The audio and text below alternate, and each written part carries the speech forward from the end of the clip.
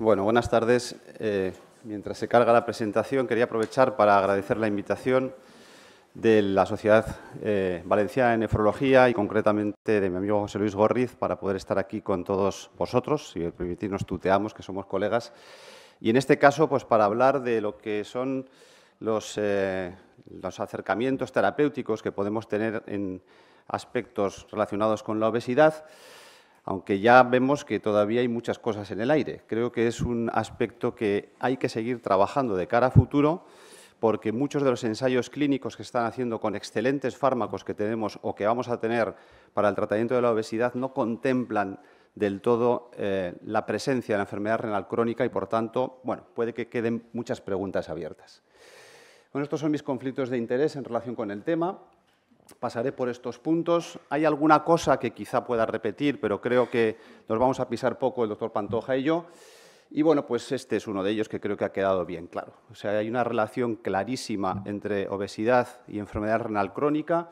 Y si vemos, por ejemplo, en esta gráfica, a medida que vamos progresando en el índice de masa corporal con todas las limitaciones que tiene, 30, 35, 40, se va incrementando de manera progresiva lo que es la posibilidad de declinar filtrado glomerular estimado. O sea, no estamos hablando solo de albuminuria, sino incluso de caída de función renal. Así que el primer mensaje es este, la obesidad es un factor de riesgo independiente, además, de enfermedad renal crónica y de caída del filtrado.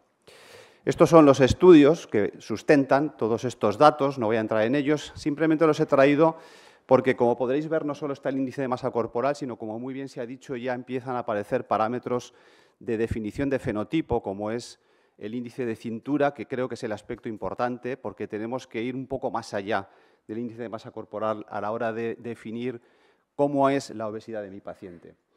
Y porque además no solo es la caída del filtrado, sino como por ejemplo en esta excelente revisión se demuestra, la obesidad es un factor de riesgo para quien no tiene todavía enfermedad renal crónica para que aparezca en el futuro y para quien la tiene pues para que progresen muchísimas de las alteraciones relacionadas con el proceso y que incluso también haya dificultades a la hora de entrar en trasplantes, etcétera, etcétera, como muy bien se ha dicho. Bueno, esto es una de las diapositivas que muestran un poco eso, pero fijaros en que en esa parte izquierda de la diapositiva ya no solo está el índice de masa corporal, aparecen unos porcentajes que tienen que ver con el porcentaje de grasa corporal, que al fin y al cabo es lo que define la obesidad. La obesidad es un exceso de grasa corporal. Habrá que medirla. No nos pesamos en la báscula solo para saber los kilos que tenemos, sino tenemos que saber nuestra composición corporal y cifras por encima de 25% o 35% en hombres o en mujeres estarían indicándonos que hay un exceso de grasa corporal y, por tanto, es diagnóstico de obesidad, aunque mi índice de masa corporal sea 24. Eso es obesidad. Y eso es obesidad porque además en este estudio sí que específicamente realizado en personas con enfermedad renal crónica versus las que no, me interesa remarcar la presencia de obesidad abdominal, sobre todo en el rango de índice de masa corporal normal. De 22 a 24.9, las personas con enfermedad renal crónica tienen un 26% obesidad abdominal, frente a las que no tienen enfermedad renal crónica, que son un 11%. O sea, prácticamente multiplica por 2.5 la existencia de obesidad abdominal cuando nadie pensaría en ella, puesto que el índice de masa corporal es normal. Si nos vamos al sobrepeso, el porcentaje de personas con enfermedad renal crónica y obesidad abdominal es de casi un 70%. O sea que a las cifras estas que se han dicho, que nos vienen en el 2035, hay que sumar todos con los que no contamos porque no los metemos dentro de la obesidad. Así que el segundo mensaje es la alta prevalencia de obesidad abdominal en personas o en pacientes con enfermedad renal crónica. Y ya se ha dicho aquí también cómo se mide. Si es muy fácil, además, tenemos la posibilidad de medir la cintura abdominal, cosa que no hacemos ni los endocrinólogos, pero cada vez está más implantada la presencia de las impedanciometrías en cualquiera de las consultas ya especializadas y esto además nos va a dar datos del músculo, que como antes se decía también es un aspecto muy importante a tener en cuenta. Y vamos un punto más allá. Eh, he aprovechado esta recientísima publicación respecto al, síndrome cardiorrenal, porque en este por fin nos meten a los metabólicos, cardiorrenometabólico, donde aquí aparece el manejo de la obesidad como uno de los puntos que tenemos que tener en cuenta para el manejo de este proceso. Y por tanto, el tratamiento de la obesidad es un aspecto clave también para el abordaje de este tipo de pacientes. Pacientes que, por otra parte, son complejos porque generalmente cuando llegan a vuestras manos están con filtrados bajos o si vienen de la mano de cardiología con insuficiencias cardíacas. Así que, en ese sentido, el manejo de la obesidad no es tan sencillo. Y más aún cuando desde nefrología, con criterios claramente lógicos y sensatos, se nos dice, bueno, enviadnos a los pacientes que tengan filtrados por debajo de 30 o albuminiurias por encima de 300, bueno, o progresiones rápidas, como antes se ha dicho en vuestras presentaciones. Bueno, pues ¿qué pasa? Que en los ensayos randomizados con fármacos estos pacientes no entran. Y, por tanto, no tenemos datos de los, como decía antes, buenísimos fármacos que tenemos a día de hoy para poder extrapolarlos a los pacientes con enfermedad renal crónica que veis vosotros en las consultas. Así que tendremos un poco que extrapolar lo que en principio estamos consiguiendo con pacientes con funciones renales mejores. Bueno, con, estos mimbres tendremos que hacer este cesto. Y esto es lo que en principio podríamos aplicar en personas con enfermedad renal crónica, con intervenciones en el estilo de vida, con diferentes fármacos que aparecen aquí, pero que ya voy a aprovechar para tachar algunos porque no están en España y no vamos a poder utilizarlos. Y, por tanto, nos vamos a centrar en los análogos de GLP-1 fundamentalmente, aunque los glucosúricos siempre aparecen por ahí como una de las opciones, porque algo de pérdida de peso generalmente suelen conllevar. La cirugía bariátrica se ha comentado y también diré alguna cosa sobre ello. Bueno, y terminaré con algún aspecto más relacionado en alguna situación un tanto especial, no tanto de enfermedad renal en estadios más avanzados, pero sí en pacientes con trasplante renal. Porque es verdad que los nuevos fármacos están transformando el tratamiento el horizonte del tratamiento en estos casos. Bueno, voy a empezar por un abordaje dietético. Vamos a volver a rescatar a la dieta mediterránea, puesto que estamos en una eh, situación y en un sitio geográfico que teóricamente debería ser propicio para ello, porque este es un estudio español que se ha hecho en Córdoba en personas que ya han tenido un evento cardiovascular previo, estamos hablando de prevención secundaria solo con intervención dietética y en revistas como Lancet o Clinical Nutrition, dos excelentes revistas han publicado estos papers, el primero de ellos para ver si evitaban un segundo evento con intervención de dieta mediterránea versus dieta baja en grasa. Seguimiento de siete años y se consigue una reducción muy importante y significativa con la intervención de dieta mediterránea, a favor, por tanto, de lo que todos tenemos en mente que habría que hacer. Bueno, pero como el motivo de hoy es ver qué pasa con el riñón, este mismo grupo ha hecho un análisis para ver qué importancia tiene la obesidad en el desarrollo o la, o la evolución de la enfermedad renal crónica. Y con este mismo estudio, en una subdivisión de los pacientes en estos cuatro subgrupos, analizan la función renal a cinco años, concretamente el filtrado glomerular estimado, y aquí ya vemos que la función renal basal era peor en aquellos pacientes sí con obesidad, pero fundamentalmente cuando está la diabetes de por medio. Y cuando se juntan la, obesidad y la diabetes, la diabesidad, que ya sabéis que existe el término, pues todavía peor. ¿Qué ocurre después de cinco años de intervención? Bueno, el grupo global ya se ve que hay una caída del filtrado glomerular en los dos grupos, pero todavía es peor en aquellos con dietas bajas en grasas, o lo que es lo mismo, mejor en los que llevan dieta mediterránea. Y cuando se analizan por subgrupos, aquellos pacientes que tenían una mejor evolución y donde había una diferencia mayor entre los dos abordajes dietéticos eran aquellos en donde la obesidad y la diabetes estaban juntos. Por tanto, en ese grupo es especialmente importante un abordaje de calidad de la dieta no estamos hablando tanto de perder peso, sino de que los nutrientes sean de calidad y, por tanto, aquí también podemos hacer algo simplemente con intervenciones de este tipo. Y estas son las dos conclusiones de estos estudios, que la dieta mediterránea en global ya contribuye a preservar la función renal y si no vamos al subgrupo de obesidad y diabetes todavía el beneficio es mayor.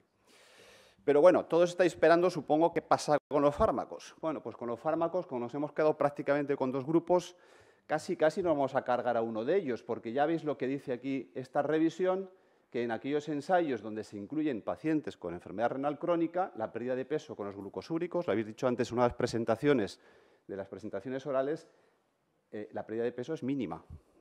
Ahí vamos a tener poca chicha. Son excelentísimos fármacos para proteger el riñón y el corazón y los vamos a poner por eso, pero si vemos el objetivo de pérdida de peso, bueno, poquita cosa va a ser. Mientras que los agonistas de GLP-1, aquí sí que tenemos datos muy potentes, son los que voy a mostrar fundamentalmente, pero insisto, poco dato relacionado con enfermedad renal crónica. Tenemos el flow que sí que todos estamos esperando en ver qué nos dice con el tratamiento ya una población muy específica y algunos otros, como aquí se muestran y que antes el doctor eh, Gorriz también me comentaba que estaba inmerso en algunos de estos estudios, más mecanísticos que otra cosa respecto a estas moléculas. Bueno, el caso es que en los últimos años eh, lo que tenemos es un bombardeo de moléculas del mundo de las incretinas, ya sean análogos de GLP-1 de diferentes tipos o ya combinaciones de duales o incluso de triagonistas, como puede ser retatrutida, donde están el GLP-1, agonista de HIP y agonista de glucagón juntos con unos resultados espectaculares en pérdidas de peso y que tenemos que ver en qué se traducen en cuanto luego ya a eventos, que es lo importante en estas poblaciones. Estos fármacos de segunda generación permiten que más del 50% de los participantes tengan pérdidas de por encima de un 15% de pérdida de peso, con lo cual estamos hablando ya de datos muy potentes y los más recientes están acercándose a pérdidas del 25%. Se están acercando a las técnicas quirúrgicas y, por tanto, insisto que en un futuro vamos a ver cosas muy buenas. Y además, pues sí que han demostrado prácticamente todos beneficios a nivel cardiometabólico, pero ya veis que lo que se analiza son parámetros de este tipo, que son muy buenos para el riñón, pero no hay datos específicos del riñón como tal, insisto. ¿eh? Así que, bueno, pues eh, vamos a ver. Esto es lo que se consigue en pérdidas de peso con orfoglipron, que es una molécula GLP-1 agonista oral no peptídica y que, por tanto, es inconveniente que tiene nuestro reversus actual de tener que tomarlo como hay que tomarlo, se lo saltan y te lo puedes tomar como quieras, con los alimentos o sin ellos, sin ningún problema y con una eficacia francamente buena, pasando por semaglutida 2.4, aquí sí que tenemos por lo menos su antecesor de eh, semaglutida 1 miligramo, hasta lo que os decía, retatutrida o tircepatida en tratamientos prolongados que se van al 25% y que, por tanto, pueden revertir muchos de los procesos secundarios a la obesidad y entre ellos, por ejemplo, la diabetes. Pero recordad lo que os decía antes, el cuarto mensaje, la enfermedad renal crónica no está aquí habitualmente representada porque es uno de los motivos de exclusión. Y, por ejemplo, en esta revisión, donde uno ve aquí que ni siquiera hay que hacer ajustes de dosis por estadio de la enfermedad renal, vayas donde vayas, no hay que hacerlo, pero se va al último de los trabajos publicados y donde los criterios de exclusión se enumeran, que hay muchos, pues cuando estás por debajo de 30, olvídate. No vamos a tener pacientes de estas características. ¿Qué podemos sacar en claro? Bueno, recuperemos tircepatida con un desarrollo clínico impresionante, con estas pérdidas de peso, que por cierto, aprovecho para decir que son mucho más brillantes cuando no está la diabetes de por medio. Todo esto de aquí son pacientes con diabetes y obesidad que tienen pérdidas de peso muy buenas pero no tan buenas cuando no hay diabetes, todavía no sabemos muy bien por qué, y uno de ellos sí que analiza en un estudio, bueno, un subestudio del mismo, en el Surpass 4, y enfrentándose a insulina agrargina, algunos datos que tienen que ver con este compuesto de enfermedad renal, de macroalbuminuria, pérdidas o caída del filtrado un 40%, situaciones de eh, enfermedad renal ya más terminal o muerte renal con un hazard ratio de 0.58, o sea, un 42% de reducción con una pérdida de peso de más de 11 kilos frente a lo que ocurre con glargina, que es como todas las insulinas incrementan un poquito el peso. Lo que pasa es que esto es fundamentalmente a expensas de macroalbuminuria. Por tanto, nos faltan todavía datos potentes de qué pasa con el filtrado, porque, insisto, todavía no hay estudios para ello. ¿Qué tenemos en perspectiva? El flow. El flow lo han parado, ya sabéis, porque Aparentemente los resultados interinos han sido buenos, pero metían pacientes con estas características, así que aquí sí que va a haber pacientes con filtrados de entre 25 y 50, que ha dado lugar a que la media del filtrado en los pacientes que se han metido es de 47, pero es semaglutida un miligramo. No es semaglutida 2.4, que es la que va a salir para obesidad, es la dosis de diabetes, porque estos pacientes tenían una enfermedad renal diabética de base y, por tanto, volvemos a tener la limitación de ver si una pérdida de peso muy potente va a tener una influencia interesante en esto. Aunque os he dicho que los inhibidores de SGLT2 aquí nos van a ayudar poco, cada revisión que se hace sobre ellos se ponen todos los mecanismos que pueden ser buenos para el riñón y entre ellos se habla de la pérdida de peso. Ahí aparece. Pero volvemos a recuperar esto. En los estudios específicos dedicados vais a mirar el peso, cómo ha ido y no aparece, probablemente por lo que os decía antes. Porque probablemente esta pérdida de peso es muy pequeñita o mínima. Así que por el peso no vamos a esperar que estos fármacos nos ayuden demasiado. La cirugía bariátrica sí. Pérdidas de peso muy potentes, por encima de un 35%. Los mecanismos, bueno, incluso todavía ni se saben. Aquí veis todo interrogantes por todos los sitios, porque no sabemos si los cambios que se producen en incretinas u otras alteraciones a nivel de adipoquinas, como antes también comentaba el doctor Pantoja, pues pueden estar aquí influyendo, pero sí que se consiguen muchísimas cosas. Aquí sí que se han visto aspectos ya específicos del riñón que os he resumido en esta tabla donde no se ve nada, pero que, bueno, pues eh, poniéndolo un poquito así, algo se ve. En azul, evolución de filtrados. Son impresionantes. 45 a 51, 47 a 60, 48 a 58, 87 a 102. Pues lo que ocurre, lo contrario de lo que ocurre habitualmente, que con el paso del tiempo va cayendo, aquí aumenta incluso a mediciones de tres años. O sea que estamos beneficiando clarísimamente a estos pacientes que entran en estos programas. Y si miramos ya albuminuria o proteinuria, dependiendo de qué situación basal tuvieran los pacientes, ocurre aquí lo contrario, que baja en todos los análisis que hagamos. ¿Estamos protegiendo al riñón con la cirugía bariátrica? Indudablemente. Por tanto, con todo lo que tenemos hasta ahora, pues eh, empezamos a tener fármacos que, como decía antes, se están acercando ya a las técnicas quirúrgicas. Pero mañana en la consulta en mi país, aquí España, ¿qué hago? Pues, ¿qué tenemos? Cambios en el estilo de vida, liraglutida 3 miligramos, no tenemos otro agonista de GLP-1 de momento para indicación en obesidad y las técnicas quirúrgicas. Y recemos todos para que tengamos dentro de poco semaglutida 2.4. Parece que este año va a salir, pero todavía no lo tenemos y parece que TIRCE también está en puertas para llegar. Si tenemos estas moléculas, la posibilidad de tratar de una manera potente a nuestros pacientes la vamos a tener ahí pero vamos a tener que aprender a manejarlos en cuanto a dosificación y demás, porque veremos a ver la tolerancia de pacientes ya con funciones renales tocadas, a ver cómo es. Y bueno, pues volviendo un poquito a esa situación del trasplante renal y demás, donde muy bien se ha dicho que puede haber situaciones que no sean buenas para estos pacientes, de hecho hay menos posibilidades de recibir el trasplante si hay una situación de obesidad importante, Permitidme que haya hecho esta pequeñita intromisión con datos de nuestro departamento que presentamos el año pasado en el Congreso de Diabetes con una N pequeñísima, ridícula, pero por compartir un poco la experiencia, teniendo en cuenta que cerramos el análisis en el 2022. Bueno, eh, con algunos pacientes con trasplante renal ya trasplantados, en donde hemos tratado con agonistas de GLP-1 o inhibidores de GLT2, las pérdidas de peso sí que se producen, un 7%, con liraglutida con dulaglutida o con inicialmente semaglutida para dosis de diabetes. Todos estos pacientes, cuando pusimos el agonista de GLP-1 era porque había también diabetes eh, por medio. La glicada bajaba un 0.4%, no, no mucho, pero tampoco partían de glicadas muy altas, y aquí se produjo en por lo menos un año de seguimiento una caída de 3 mililitros por minuto, a pesar del tratamiento con agonistas de GLP-1, frente a lo que ocurre con los glucosúricos. La pérdida de peso es mucho menos brillante, bueno, lo que estábamos diciendo, hay una disminución de glicada que no está mal, pero tenían filtrados también mejores y fijaros, se vuelve a comprobar que efectivamente estos fármacos para el riñón van francamente bien. Aunque es verdad que el filtrado inicial de los agonistas era peor, 43, que los que eh, iniciamos con el glucosúrico que estaba en 56. Bueno, creo que son fármacos que se complementan, que pueden ser muy interesantes e insisto que cuando tengamos moléculas realmente potentes de esta familia tendremos que ver un poco qué pasa.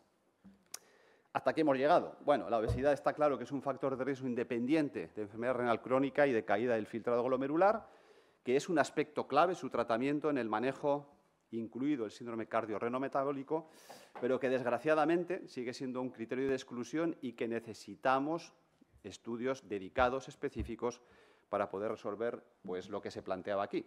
¿Con qué trato a mi paciente con obesidad y enfermedad renal crónica? Muchas gracias.